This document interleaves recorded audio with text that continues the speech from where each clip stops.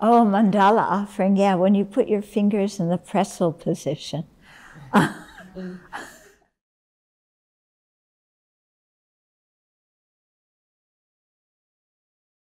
okay, so um, the mandala offering uh, is how it's usually used is uh, we're thinking of the universe according to the ancient India, Indian uh, cosmology, which was, uh, this explains why you hold your hands like this.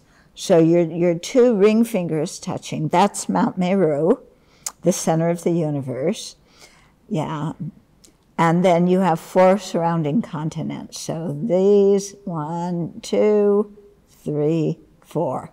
Okay.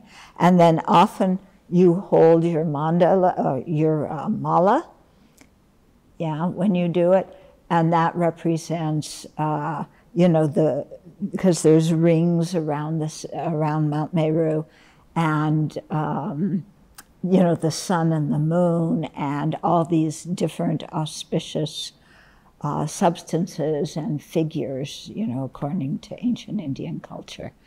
Uh, so the idea is that you're taking everything beautiful in the universe, which we usually want for ourselves, yeah, and we're offering it to the Buddhas and Bodhisattvas.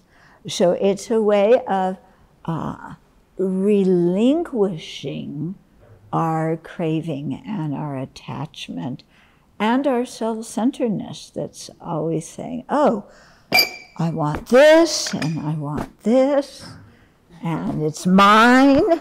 I'm not giving it to anybody. Um, and imagining the whole world with everything beautiful in it. And you offer it to the Buddhas and Bodhisattvas. So it's practicing generosity. It's also very helpful to, to us because if we look at everything we have and think, I've already offered it to the Buddhas and Bodhisattvas. They're letting me use it. So I need to use those things to benefit sentient beings because that is what is closest to the hearts of the Buddhas and Bodhisattvas, benefiting other beings. So, you know, I have my precious tissue box which, oh, this is a beautiful tissue box, isn't it? Look, it's, you know, has nice fabric, nice, even some different nice things here.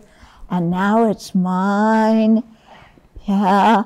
So, um, but actually, no, it belongs to the Buddhas and Bodhisattvas.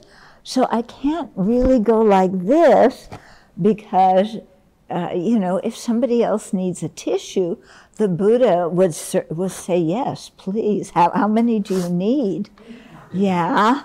Whereas I would say, uh, let, can I give you half of one because I might need all the other ones later? Okay.